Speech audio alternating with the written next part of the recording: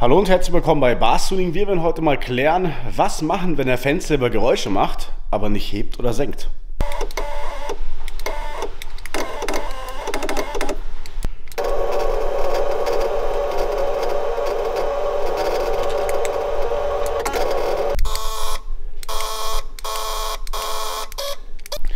Wie ihr jetzt gerade schon gesehen habt, habe ich auch eine andere Tür mit Fensterheber probiert. Ich habe auch einen anderen Motor probiert. Exakt bei allen drei Motoren und zwei Fensterheber dasselbe Problem. Hier habe ich jetzt noch einen einzelnen Motor zum Testen. Der ist aber auch in Ordnung. Auf der Fahrerseite hat alles funktioniert. Bei mir ist es tatsächlich so, auf der Fahrerseite funktioniert alles. Der Fensterheber fährt ganz normal hoch, runter, so wie er soll. Heute Beispiel Fahrzeug Golf 3. Ich bin mir nicht ganz sicher, ob es vielleicht auch andere Fahrzeuge haben. Aber bei mir ist jetzt am VR6 dementsprechend das Problem. Dementsprechend habe ich mir mal den Schaltplan rausgesucht, beziehungsweise Leon. Vielen, vielen Dank fürs Schicken. Fahrgestellnummer bezogener Schaltplan. Einmal Fahrerseite, der ist eigentlich relativ uninteressant für uns. Da geht es tatsächlich nur um Verbindung A und B, darauf gehen wir gleich nochmal ein. Und hier die Beifahrerseite ist für uns wichtig, denn wir werden den Fehler heute rausmessen, beziehungsweise ich hoffe, dass wir den Fehler rausmessen werden. Und dann können wir sagen, okay, woran liegt es? Wo ist der Fehler tatsächlich? Kurzes Update, ich habe schon einiges gemessen. Allerdings ist es so, ich will euch jetzt nicht zeigen, wie, was jede Leitung gemessen wird. Dazu gibt es ein extra Video, werde ich euch mal unten in der Videobeschreibung verlinken, wie man nach Schaltplan misst und so einen Fehler findet. Bei dem Video geht es tatsächlich darum, den Fehler zu finden, wie ich darauf gekommen bin. Vielleicht hat der ein oder andere dasselbe Problem. Und ähm, dann zeige ich euch, wie ich den Fehler gefunden habe. Fakt ist, ich habe jetzt mal den Kabelbaum aus einer anderen Tür ausgebaut und den angesteckt komplett. Dann ist derselbe Fehler. Das heißt, ich würde jetzt einfach mal alles, was in der Tür ist, inklusive drei Motoren, die ich getestet habe und zwei Fensterheber, einfach mal ausschließen. Das heißt, meiner Meinung nach muss der Fehler irgendwo zwischen hier und dem Relaiskasten liegen. Irgendwo hier drin. Folgender Punkt. Ich habe, also der Fensterheber auf der Beifahrerseite funktioniert wieder. Jetzt werden wir durchgehen, okay, wo ist der Fehler tatsächlich? Ähm, und zwar ist es nämlich so, wir haben hier auf T15 haben wir auf Pin 5 ein braun-gelbes Kabel und das geht einmal von Pin 5 hier drüben, komplett rüber über die Tür, geht nach drüben und gibt dem hier drüben Klemme 30, das heißt Dauer plus. Ich habe jetzt das mal so gemacht, dass ich auf der anderen Seite das rot-gelbe Kabel auf Pin 1 und das braun-gelbe Kabel auf Pin 2 gebrückt habe. Rot-gelb, ich stecke es gleich nochmal aus, ist Dauer plus Klemme 30. Damit das Ganze auch funktioniert, kommt dann hier praktisch zweimal Dauer plus rein. So. Der Punkt ist jetzt der, ich habe bei einem Kabel gemessen, das war dementsprechend einfach dieses braun-gelbe, da kamen nur 11,9 Volt an. Das hat vermutlich nicht gereicht, um das Relais zu schalten. Somit habe ich es jetzt gebrückt und es funktioniert. Wir schauen uns mal ganz kurz hier an. Man sieht, ich habe ein bisschen was gemessen und ein bisschen was getan. Und zwar geht es nämlich hier um dieses Kabel. Braun-Weiß, Pin 5 das hier ist der Motor für die Fahrerseite bzw. Steuergerät, Fensterhebermotor, Fahrerseite. Geht hier auf Strompfad 20, geht hier oben weiter. Na, das hier ist ja Strompfad 9. Das heißt, geht hier oben weiter auf Pin 26. T32 habe ich euch schon gesagt, ist praktisch hier dieser hier. Und das auf der Beifahrerseite, genau dieser Stecker gibt es ja auf der Beifahrerseite auch. Das ist dann praktisch T32A. Also so wird es im Schaltplan bezeichnet. Fakt ist, wir gehen hier rüber. Gehen hier rüber, braun-gelb 05. Das geht hier rüber auf gut T1C ist jetzt mal uninteressant für uns und geht hier rüber auf Pin 26T32A. Das heißt, das hier unten ist der Fensterhebermotor bzw. das Steuergerät vom Beifahrerfensterheber. Und das geht hier auf Pin 5. So, hier ist es jetzt immer noch braun-gelb. Und hier müssen, wenn wir das Ganze hier so verfolgen, muss Klemme 30 ankommen, wenn wir das Ganze jetzt hier nachverfolgen.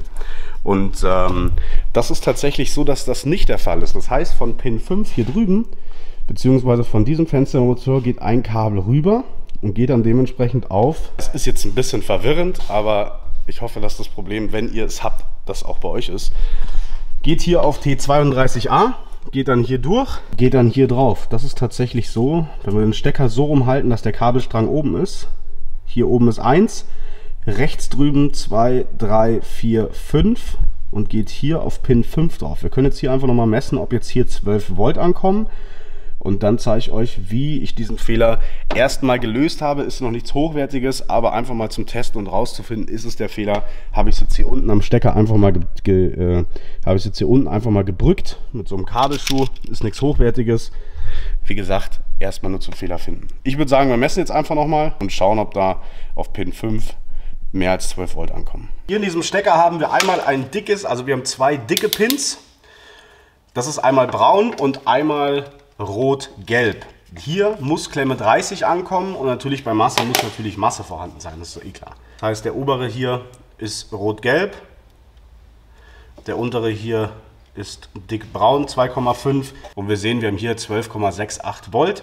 Das passt auf jeden Fall. Dann gehen wir jetzt weiter zu Pin 5. Das heißt 1, 2, 3, 4, 5.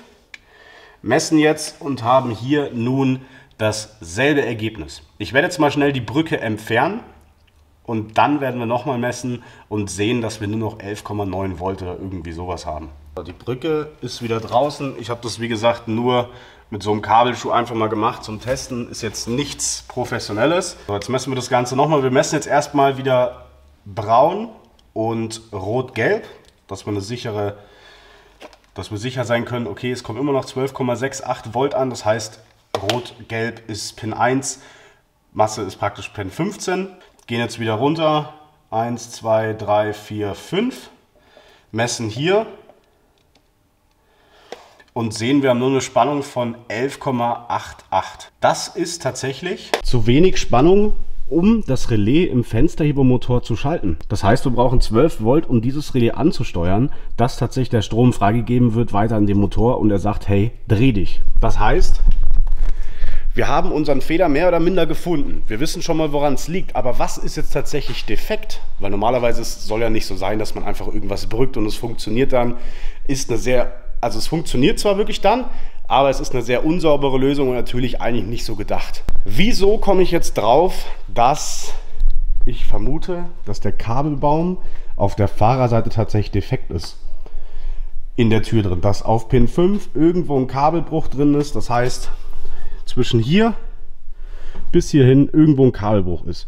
Ich habe jetzt vorhin hier schon mal ausgesteckt und gemessen, beziehungsweise den Pin mal reingehalten auf die richtige Klemme und habe hier unten tatsächlich auch nur 11,8 Volt oder irgendwie was rausbekommen. Das heißt, die Spannung kommt tatsächlich schon zu wenig von hier drüben.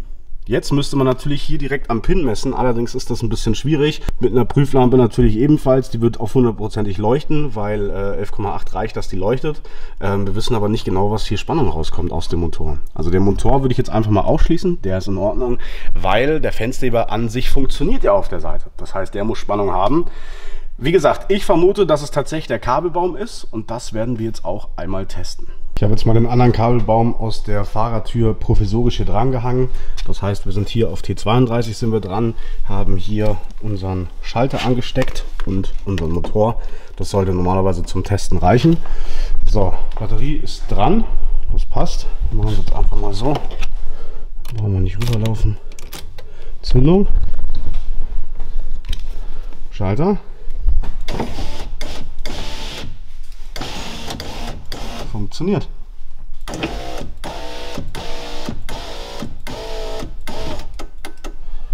Funktioniert. Das heißt, der Fehler ist tatsächlich hier im Kabelbaum der Fahrradtür. Schwierig zu finden. Das findet man tatsächlich auch erst, wenn man sich hier durch die, durch die Schaltpläne durchkämpft und sowas. Aber so, Fehler haben wir gefunden. Ich würde fast sagen, es ist irgendwo ein minimaler Kabelbruch. Ich will den Kabelbaum jetzt hier eigentlich nicht komplett strippen und auseinandernehmen und hier gucken, wo hier der Kabelbruch drin ist. Das ist so eine ja, minimale Strecke. Deswegen glaube ich, werde ich einfach den Kabelbaum wechseln. Das Einzige, was ich halt sehe, ist halt, dass der hier komplett zerpflückt ist und fertig und hier Verbinder und so. Da werde ich mir irgendwas einfallen lassen. Aber soweit mal zum Fehlerbild. Also Fehler gefunden, Fehler an sich auch behoben. Also wie gesagt, das wäre jetzt noch das Anschließen das wäre aber das Kleinste. Für euch ist erstmal wichtig, okay, Fehler gefunden. Das heißt, wenn euer Fensterheber auf der einen Seite nur surrt, dann liegt es auf jeden Fall daran, dass zu wenig Spannung ankommt und er daher nicht funktioniert. Tatsächlich ist es auch so, dass ich in vielen Foren und sowas nachgeschaut habe ähm, und zu dem Thema selber tatsächlich, wenn zu wenig Spannung ankommt, tatsächlich überhaupt nichts gefunden habe. Vielleicht hilft dem einen oder anderen dieses Video. Bei mir war es tatsächlich, wie gesagt, der Kabelbaum in der Fahrertür, obwohl der Beifahrer Fensterheber nicht funktioniert hat. Ist natürlich schon ein bisschen schwierig zu begreifen, aber wenn man sich dann einen Schaltplan so ein bisschen durchsieht, dann versteht man das Ganze natürlich auch. Das da drüben, warum der Fensterheber so geruckelt hat, kann ich euch auch erklären. Das ist so eine ewig lange Story, theoretisch. Also ich hatte das Fahrzeug mal, verkauft, habe es wieder gekauft. Dementsprechend war das mal mein Fahrzeug und ich hatte in einem Video früher schon mal das Problem, dass der Beifahrerfensterheber geruckelt hat. Das hatte ich aber auf der Fahrerseite auch tatsächlich und dann habe ich den Motor selber getauscht mit Steuergerät Relais. Das ist ja ein Teil. Das sieht dann aus wie hier drüben. Das habe ich getauscht und danach war das Ruckeln auch weg. Also das Ruckeln hat tatsächlich nichts mit diesem Fehler zu tun, sondern das Ruckeln kommt tatsächlich einfach nur, weil das Relais irgendwie einen weg hat oder so. Es funktioniert zwar noch, aber es nimmt dann immer wieder den Strom weg und dementsprechend unterbricht es immer wieder. Daher kommt das Ruckeln. Das hat jetzt aber, wie gesagt, nichts mit dem Problem an sich zu tun. Das ist dann tatsächlich einfach nur ein Problem im Fensterhebermotor. Weil wenn wir den Motor jetzt hier nehmen und anstecken drüben, dann läuft der komplett durch. Also das hat auch nichts mit der Scheibe oder so zu tun, dass sich die irgendwie verkantet und der Widerstand dann zu hoch wird, sondern ich habe das vorhin schon getestet, das ist tatsächlich nur der Motor. Und zum äh, Fensterheber stottert oder ruckelt, habe ich mal ein Video gemacht, genau zu diesen Problemen, dass der eben so ruckelt und äh, mittendrin mal aufhört. Ja, die haben die Mülltonne einfach dahingestellt. Ähm, das ist schon ein paar Jahre her. Aber nur, nur mal dazu, wenn er bei euch ruckeln sollte, gibt es dafür auch eine Lösung. Habe ich auch schon ein Video gemacht. Verlinke ich euch in der Videobeschreibung. Noch kurze Anfügung. Ich habe jetzt hier unten noch ein bisschen rumprobiert. Und tatsächlich ist es auch so, dass wenn wir hier, also normalerweise unser Massekabel sieht ja so aus. Wenn das Massekabel keinen Kontakt hat, also wirklich keine Masse, macht der Fensterhebermotor exakt dieselben Geräusche. Das heißt, wir testen das mal ganz kurz. Ich nehme jetzt einfach mal das hier als Masse. Mit dem habe ich jetzt auch die ganze Zeit gemessen. Mal drauf. Das heißt, jetzt haben wir auf jeden Fall mal hundertprozentig Masse. Testen wir. Geht. Wenn ich jetzt hier die Masse ziehe,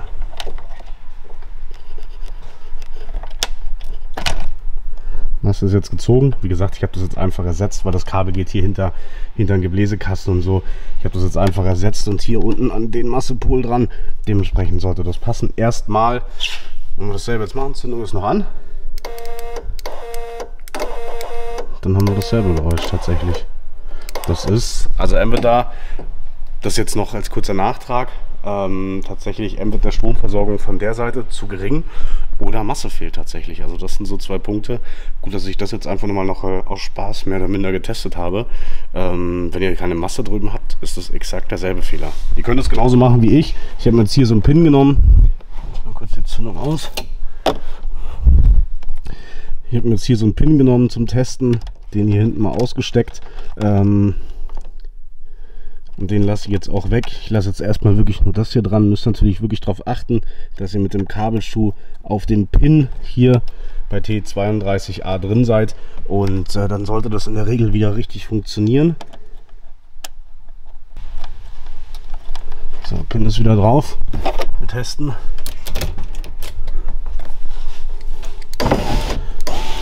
Geht wieder. Das heißt, wir haben tatsächlich zwei Ursachen bei dem Ganzen. Wenn dein Fenstermotor so klingt, wie wir es am Anfang besprochen haben, fehlt entweder Masse oder tatsächlich die Spannung vom Fensterheber auf der Fahrerseite. Ähm, nur kurz als Ergänzung. Wie gesagt, zufälligerweise habe ich das jetzt noch ausprobiert. Dann können wir das auf jeden Fall schon mal sehr stark eingrenzen. Dann soll es mit dem Video gewesen sein. Wünsche euch noch einen schönen Tag, Abend oder Nacht. Weitere Videos gibt es natürlich auf dem Kanal. Schreibt gerne in die Kommentare, was bei euch der Fehler war, wenn ihr das Problem hattet. Bis dahin, macht's gut.